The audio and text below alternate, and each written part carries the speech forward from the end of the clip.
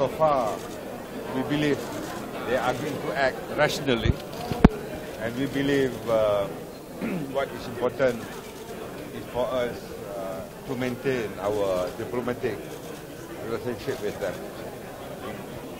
Because uh, I think uh, what is important is the security of our citizens over in Pyongyang, and I think they are also very concerned about the security of their citizens in, Malaysia.